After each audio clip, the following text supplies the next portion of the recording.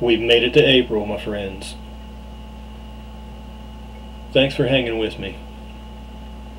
Let's look at a couple things in April. Don't give up on things just because Jupiter and Venus is maybe starting on the backside of where they were, but still being a big thing to see. Each thing has symbolism up there. History, stories, myth, truth.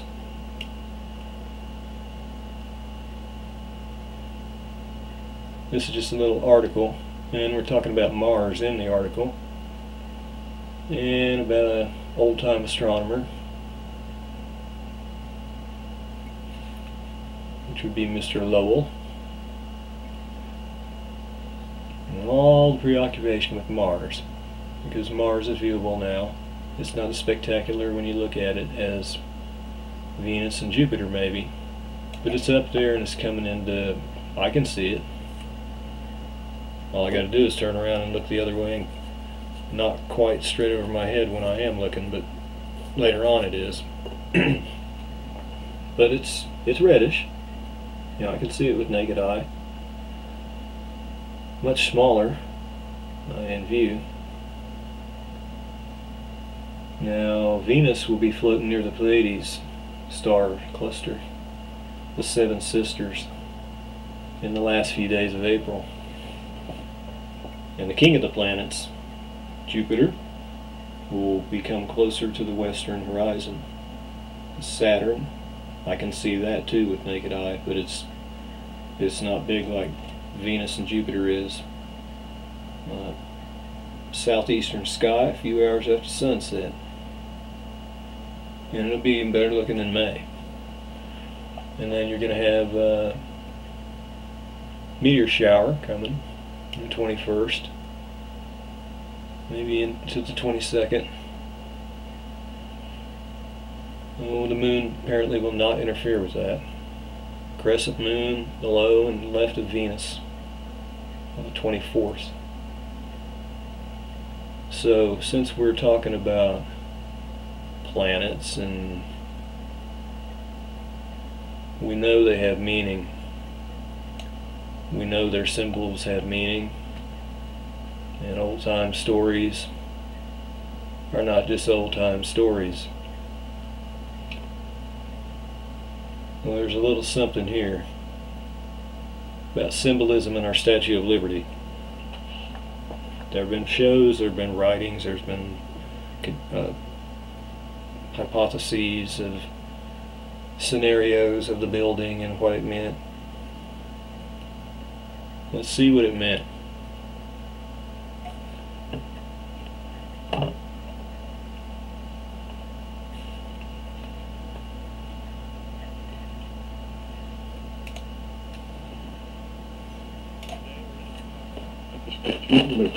from a biblical perspective. And when Mike speaks, it's always from a biblical perspective. That's what I what I like about these DVDs. Well, God has always helped me uh, throughout my life. Just study the scriptures and stay in the scriptures. And as we mentioned last time, I've always had this inquisitive mind. I look at something and I don't always accept the answer that I'm given, and I want to know what's going on. I want to know I, I sort of uh, have turned in since I studied the Da Vinci Code, and and uh, we we were talking yesterday uh, about uh, Brother J.R. Church, the book that he wrote called Guardians of the Grail. I mm-hmm. remember reading that when it first came out. It really fascinated me, but I just kind of stuck it in a file of, of my mind, and and then when I read the Da Vinci Code, I started seeing and started remembering things that J.R. had put in Guardians of the Grail, and I'm going well, it makes more sense now, and he did a fantastic work. But that in itself got me interested in the language of symbolism. And so I've studied symbols, I've studied uh, things that are on supposedly Christian books and Christian material uh, as symbols that I've decided, according to the scriptures, are, are not right. But symbols are always meant to conceal something, and my mind says, well, that's not good enough. If I see two people talking, I want to know what they're talking about. I want to know what secrets they're sharing. And so I believe that the Bible, and of course the Bible tells us that God is the revealer of deep and secret things, Um, in the uh, in the Daniel chapter two, when Daniel was being asked to not only discern the dream that Nebuchadnezzar had, but actually tell him what the dream was. None of the astrologers and soothsayers that Nebuchadnezzar had could tell what that dream was because it was hidden from them. And here Daniel shows up and says, King, I can tell you both what the dream was and what it means, and it's going to come from God. I'm not anybody special, but God is the one who reveals the deep and secret things. And even the very last book of our Bible is the book of Revelation. It's going to, the whole New Testament reveals what was once kept hidden in the Old Testament. And so God wants to reveal things to us that at, uh, you people talk about the Illuminati and the Council on Foreign Relations, the Bilderbergs, the secret societies, who they don't like to be called secret societies anymore. They like to be referred to as a society with secrets. And that sounds very dignified. Yeah. But I want to know what that secret is. Absolutely. Now, right on the cover of this DVD, it says American Goddess, and then the subtitle, Lucifer's Torch uh, here she's holding up this fiery torch with this giant flame that's going up into the heavens and, and reaching out to he- who knows where. Well, we're going to find out where uh, in just a moment. But Mike, most Americans have a fond attachment for the Statue of Liberty. Uh, we have all been conditioned to believe that she is a welcomer uh, of the poor, or the oppressed, and so forth. And when they see Liberty's torch, the hope springs in their heart. You know, she's a positive image. Uh, I want you to just go right into who she is, what what her background is. She's got a long, long history behind her, hasn't she? If I if I was a tour guide, uh, taking people to to Ellis Island to the Statue yeah. of Liberty, and they were to ask me, uh, what is this thing? What does it represent? I mean, obviously it's symbolic of something. And here's something to understand about the language of symbols. Um, in fact, uh, Albert Pike in Morals and Dogma talked about this, and he said, We as Freemasons, we use symbols. There is always an exoteric meaning, which, which means this, this is the one we tell everybody. There is an esoteric meaning, which means it's hidden, it's secret, and we don't tell anybody. So someone going through the Blue Lodge, the first three degrees of Freemasonry, they're told, well, the rope means this, and the sleeves rolled up means this, and the, all of this furniture in the lodge means this. But Albert Pike explains, basically, we didn't tell them the whole truth. We hid back something that we can't really reveal to them until a certain time. And so here, the, the Statue of Liberty basically is this gigantic symbol, and it, as you mentioned, most of our forefathers came into this country by way of New York City. Those who were fleeing uh, Europe and things like that, they were coming in through New York City. They see the first thing they see is the Statue of Liberty, and they think that is the symbol of America. And we like to think of America as this great Christian nation, and truly, for a while, America was sending the gospel literally to the four corners of the earth. When the when our founders came over here from Europe, they wanted to settle in New Jerusalem. They wanted a, a nation that was built upon the, the fundamental principles of the scriptures. So they come bearing the word of God. First it was Geneva Bible, then the King James Bible. They come bearing the word of God in their hands, and that, that's what they had envisioned. But you know as well as I do, Jude talks about certain men crept in unawares. So between the time of the 1600s and the 1700s, when we're going to revolt against England and form this nation, we already are starting to see the certain men creeping in. And instead of a nation that's built upon the principles of God, now we're starting to see things, and it's really coming to light now. Now we're starting to see things built upon a different spirit, and Paul warned about another spirit or another Jesus.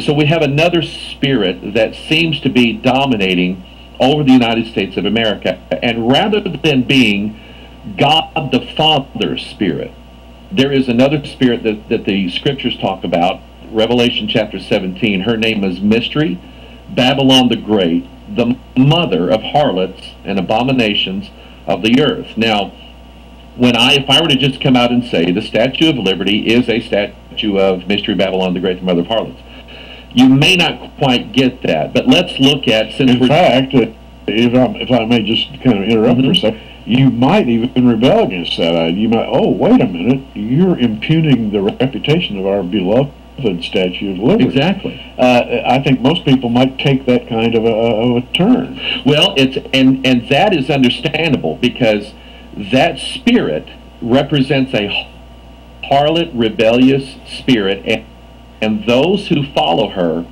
defend her deeply. You remember in the book of Acts when Paul was standing up against the the coppersmiths and the idol makers and everything like that, and they were Yeah. they're going to lose their income.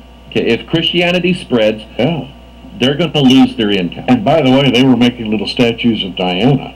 That's exactly right. They were making statues of Diana, Yeah. and it's interesting that they that that they said, "Whom the whole world worshipeth."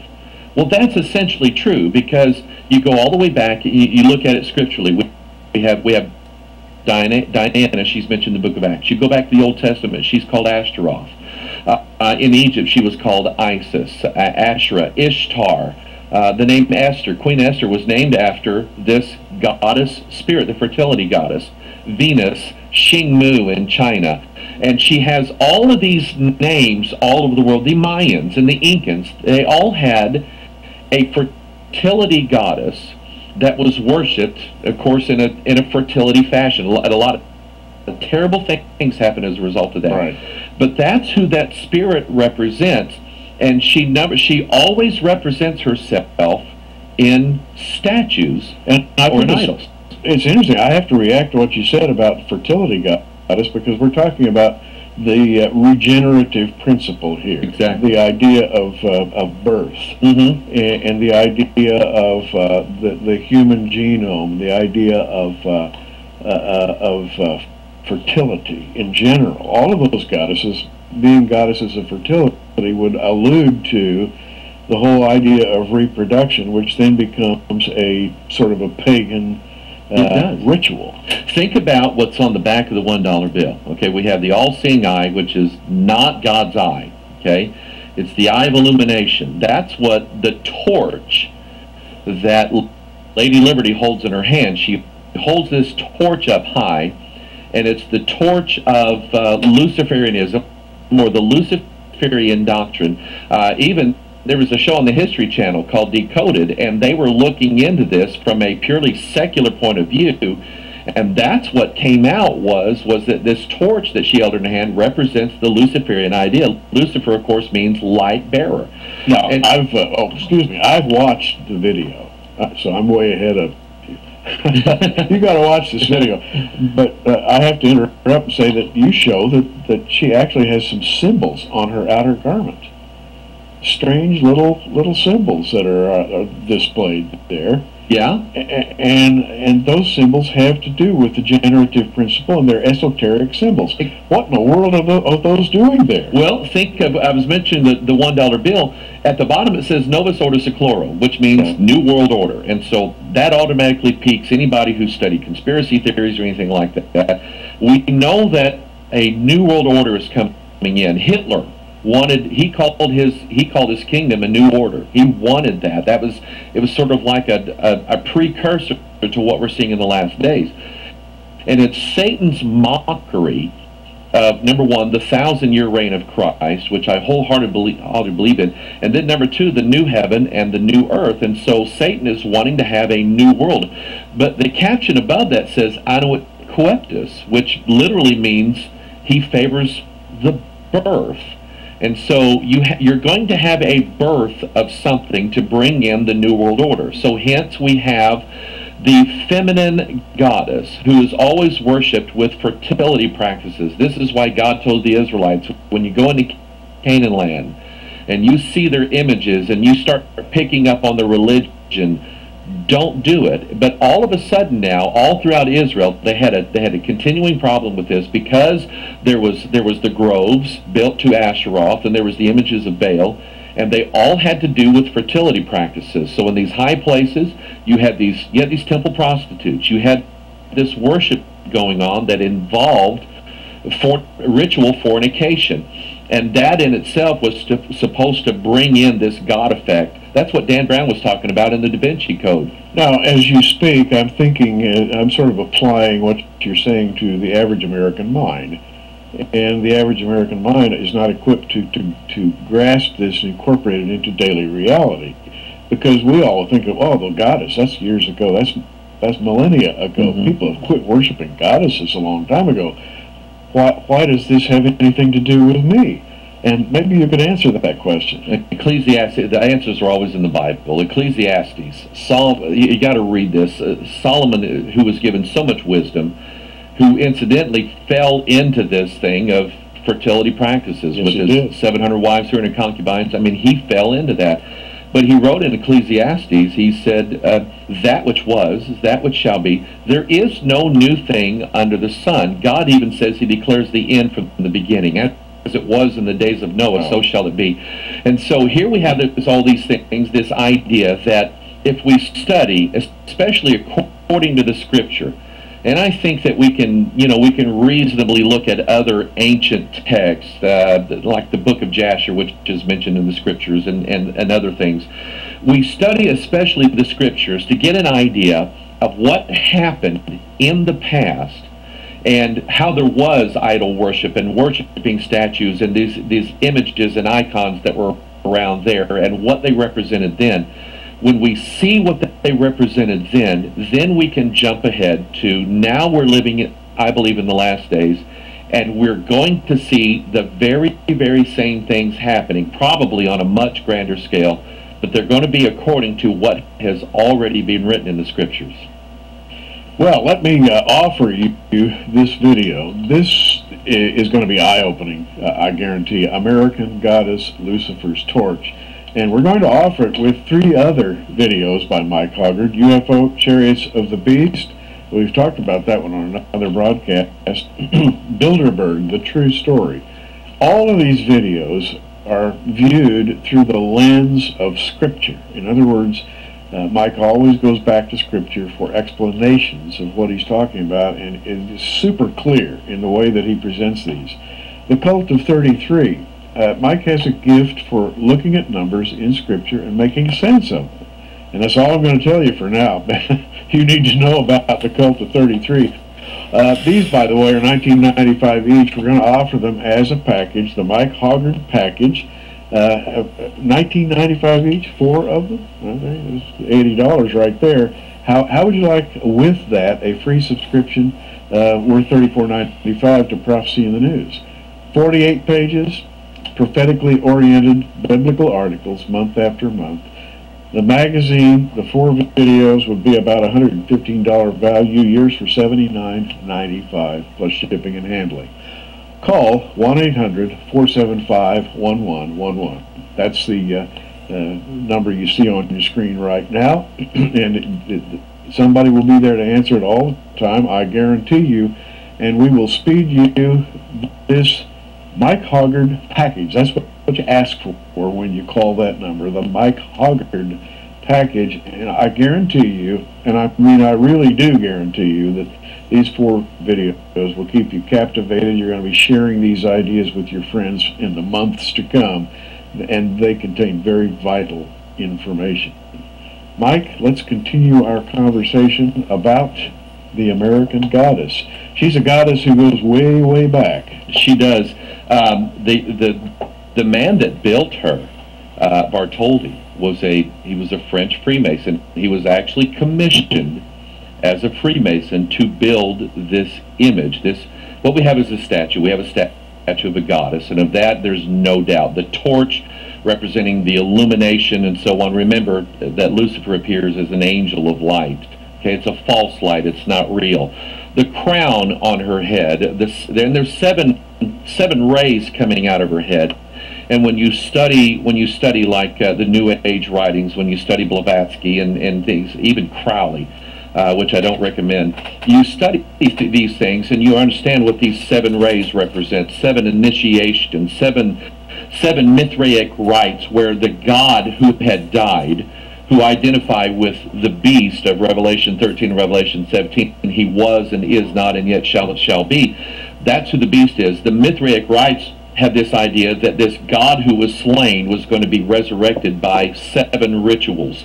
Uh, Masonic ladder has seven rungs on it. You know, you climb the ladder and so on. And that's what these seven rays coming out of her head represent. And it's interesting is that at the top the Statue of Liberty, at her crown, literally her forehead, where back in the base of our brain is a thing called the pineal gland. That is at one of the core teachings of the New Age movement is the, the awakening of the pineal gland, and they say that it awakes you. Actually, when the pineal gland is activated, you fall asleep, and so it's exactly opposite of uh, you know of what they say it is. But right around the area of the forehead or the crown, there are these windows, and people are supposed to climb up these this ladder and come to this this uh, the forehead always represents illumination in yoga or in the Eastern mystic rites, they have this idea called Kundalini. And Kundalini says is that at the base of your spine, entrapped and entombed, is a beast, a serpent, and he's coiled up. Well, I know who the serpent is, okay? Sure. You mentioned that cult of 33. Yeah. Kundalini says that you have 33 bones in your spinal column. Okay? Kundalini says is that um, if you go into these ritualistic practices, that beast is going to rise up and go up the 33 bones of your spinal column and touch and activate your pineal gland and you'll be awakened. And so in that process of going up the 33 bones, you have seven what they call chakra points. And when it reaches that seventh chakra, then you have this illumination of the world, and now you're enlightened and you're this ascended master and all this stuff. It's basically a cult demonology, is what it is. Now, this is very complex. It becomes very simple when you Mhm. view the video because you have time to develop these ideas. But you're saying when a tourist goes inside They're the, the practicing. Statue of Liberty, They are practicing a ritual. They're doing what you would do in these old temples. You would you have to go up a set of steps, which represents layers or levels of initiation to get to the holy of holies or whatever it is. And that's what that's how that was designed because Bartholdi was a Freemason. He had a secret knowledge, he had a secret concept, and he built that. And so it's interesting that the the stairway or the way to get to the top of the Statue of Liberty is not on the outside. It, it's shrouded, and everything that's in the societies with secrets, or it's in the occult, or in, in the New Age movement, or whatever, is always shrouded. And so here, the Statue of Liberty wears this long robe, okay, and that is to shroud and conceal an inner secret.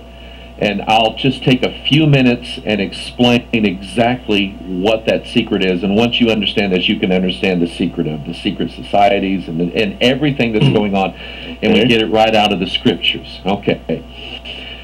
God wrote a book, and it's, this is fascinates me. God wrote a book. It's called the Bible.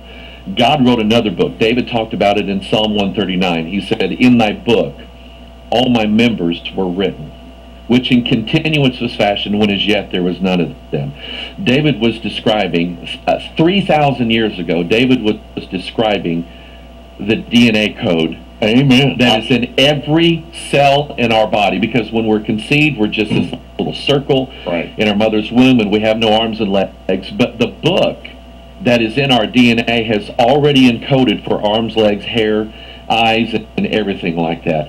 And so it was it's continuance in fashion and it's codes for all of our members. And it's written exactly like a book, including periods at the end of gene sequences that they called stop DNA. That's how the scientists know that one gene ends and another gene starts, is that has, there's a code called stop DNA. Okay, so it's written exactly like a book.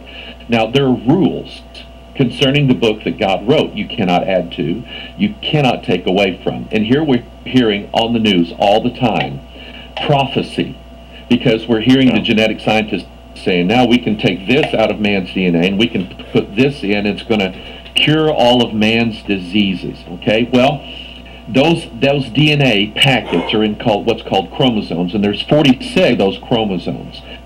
In the temple that Solomon built, he had two pillars, Jachin and Boaz. Those two pillars happen to be the central theme of this society with secrets.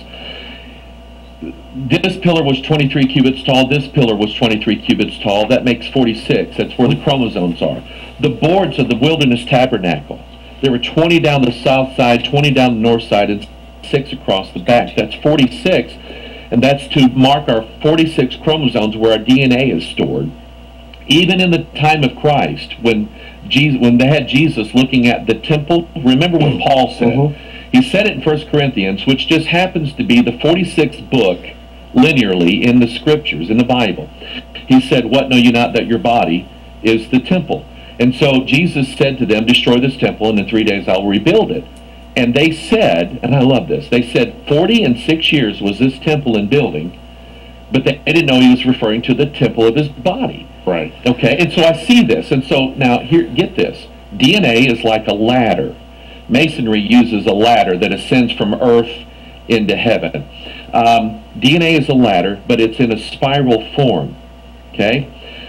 In the Statue of, Liberty, there are two spiral staircases.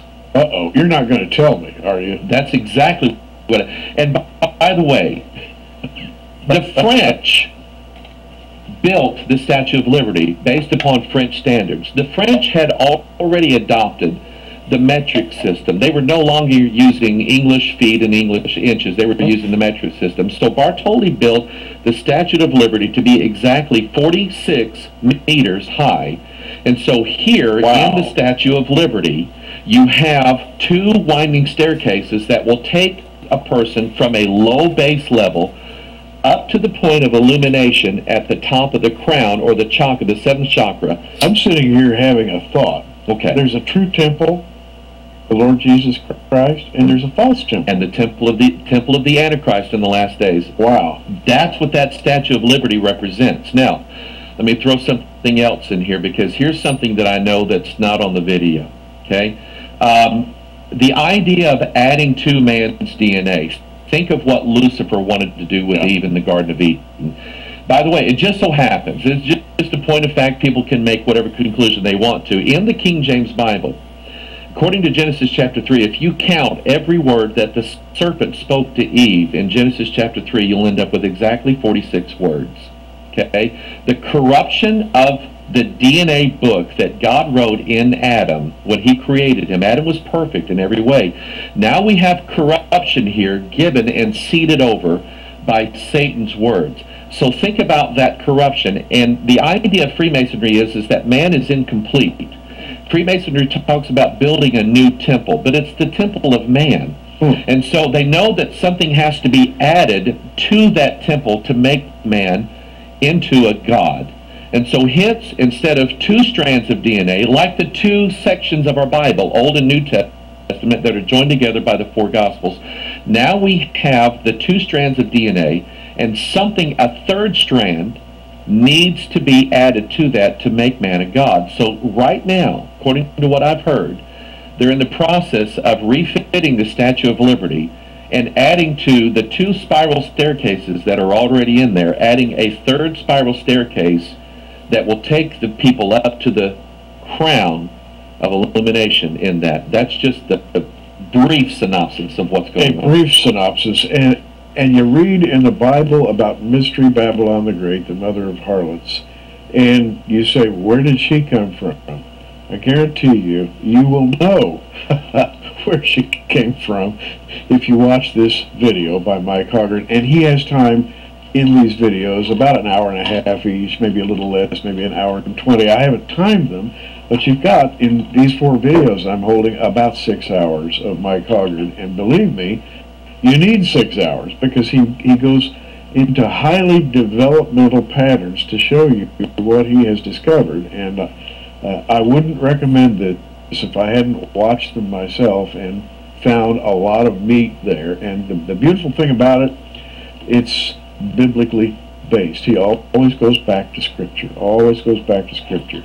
Uh, the American goddess, Lucifer's torch, uh, we're offering this to you in a package which we're calling the Mike Hoggard package, uh, along with UFOs, Chariots of the Beast, Bilderberg, The True Story, and The Cult of 33. And if you think you know Mike as a counter of numbers, you don't know anything until you see. Uh, he mentioned 33 bones in the human spine a minute ago. That'll give you a little clue as to what this is all about. Uh, these four videos, and uh, by the way, uh, we're making them uh, available to you in a package along with a year's free subscription to Prophecy in the News, are your, yours for $79.95 plus shipping and handling. That would be about $115 value. So not only are you getting a great value, you're getting a free subscription to Prophecy in the News. As for the Mike Hoggard package, when you call 1-800-475-1111, and uh, they will ship this to you very quickly, and you'll be able to sit down and get the real Mike Hoggard in depth and detail. Uh, Mike, you know, that's Well, mention the old Statue of Liberty in Diana.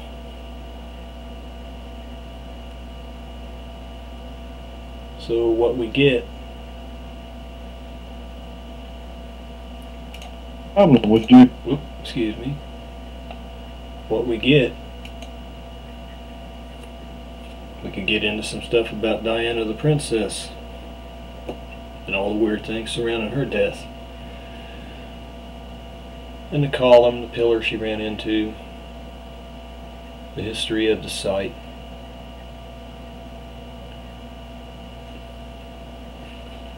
There are things to it, it appears, when you sit down and think long and hard about it.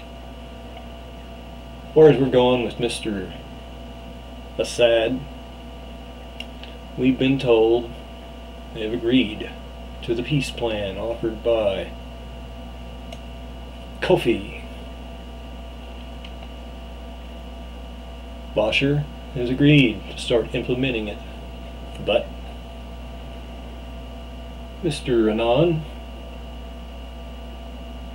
has said there's been no progress yet in, in the killing. now, Syria agreed to implementing it by the 10th, according to this.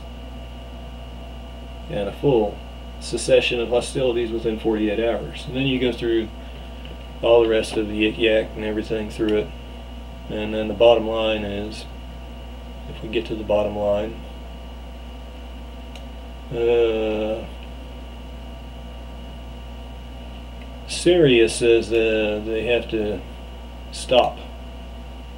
The rebel movement has to end completely, or they ain't complying pretty well. And then France, there's their interjection, Russia and China, and what they're all saying about things. Bottom line, we got a paper deal, but we got no real deal in actions. I haven't heard about any big fightings and killings today. I'm gonna look some more. But I don't think this is it. I would be surprised because he wants the rebels to lay down. And the rebels rebelled so they could win. So I'm not sure the rebels actually want peace. And what did they say? What did King Obama say? It's not a matter of if he goes, it's a matter of when he goes. So I cannot believe Bashar Assad will agree to abandon the ship.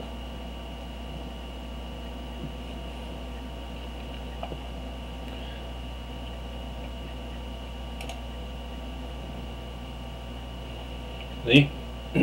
Talking about that again in our Skywatch. Venus and the Pleiades will meet for a conjunction. And this is Norway. A little bit of the auroras. Now, I did not see this here, the sprite. So I was a little surprised to find this out. The first ones of summer are appearing. And this is photographed on the 30th from the observatory in New Mexico. And for those of those that don't know what a sprite is, they're an electrical discharge that comes out of the top of the thunderclouds, opposite the ordinary lightning clouds, which plunge toward the earth. And they can be high as 90 kilometers above the ground. And that can that puts them in the space weather category as they overlap the zone of auroras, meteors, and noctilucent cloud. But they're associated with lightning. Seen in summer usually. Reported in Texas and New Mexico. Hmm. And this this actual picture, it says it's two minutes and 26 seconds after midnight on the 30th of March. A powerful bolt of lightning in Woodward, Woodward, Oklahoma. Now that would be oh, about 75 miles or something like that from me. So maybe I couldn't have seen it, but maybe I could have. It might have needed to be a little higher from my vantage point. I'm not sure yet. But I've never seen one before, a sprite. so that's something else you can look for sometimes in lightning and thunderclouds. But that's a nice picture too. And I don't get the green here. You know, I'm too far down, I guess, south. So when I do have some some auroras from the CMEs and stuff, I always get the pinkish, purplish, reddish kind. I haven't seen. I think I had some yellowish one time, but not not green.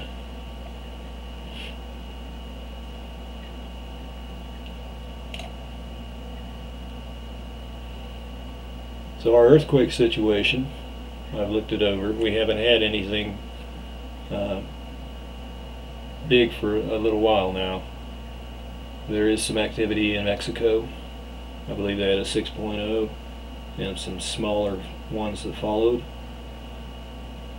To my knowledge, no red. Mexico had the only red of 6.0. So everyone else is less than 6 and uh, it appears to be stable mid to low mid. Typical regions stretching from Australia. I'm sorry that you got something a while back. Uh, Jay, I hope it didn't scare you too bad. Maybe you didn't feel it to be too scared. Um, all through Indonesia, all the way up the line in Japan, circling back to us. That's the typical number one in my book. Well, thanks for all your uh, well wishes and prayers. Um, my brother went through his surgery. It hasn't been easy, and uh, I got a call here just a little bit ago, and he's having a little problem. So we'll see what what transpires from it. So this has been quite long-winded, but I've been away for a while, so it was my intention to make it a little long and fill it with as much stuff as I could.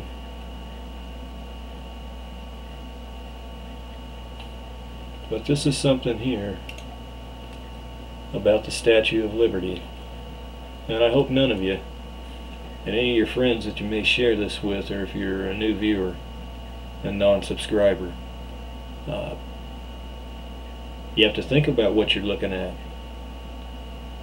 And you can't go just with one thing because there's many things that people will say what it is. We always were taught it was good and liberty and all that other great American stuff. And we were indoctrinated into it throughout our whole life. And if you don't doubt it, you're not going to look beyond it. But if you look beyond it, you have to keep going back till you find the real first base of knowledge. And there you get into discussion about which book is the base. And in my book, the Holy Bible is the base. I mean not to offend anyone else of any any religion because I don't want to start an argument or one right from wrong. But in all my reading and thinking, that's the only one that I've never been able to pick at actually and uh, concrete 100% anything not being true. Conjecture and ideas and stuff like that, they sound good, they look good, they smell good, maybe even they taste good, but they can't be proven. There's a lot of stuff in the Bible they say that can't be proven, but that's why they say that, because there's so much in the Bible that can be proven. Well, what are you going to do? Pick on the stuff that can be proven? No. You're going to go for the stuff that, you know, maybe they haven't found the archaeological sites or items to date back and prove that time period or the events yet, and whatnot, to delve into the supernatural. So the Lord be with you and bless all of you. Carry you every day. He's been carrying me for a long time, a lot more than he has carried in quite some time. So, I will speak to each and every one of you as soon as possible. Uh, the smoother things go, the easier it'll be to get back into the swing of things with you, videos and whatnot. Uh, I would like to participate in a, a group thing that I've been asked to, but this um, illness situation with my brother and whatnot. Uh, at this current time, I, I don't have the time to devote to it. As my situation improves and I find out, uh, and, and my mind is more at ease with what's going on here, then I would be whole to devote my time to uh, getting in this and seeing what we can do to help people about everything that is going on because you got so much of it. You're getting a full front assault. Wham, bam, thank you, ma'am. From every angle, below you, above you, around you. It is just a full bombardment from supernatural and man things. And that would be uh, part of our group discussion, I believe, all the different angles of everything. So I'm going to let it go now. And I'll see you guys soon, eh? Watch that sky.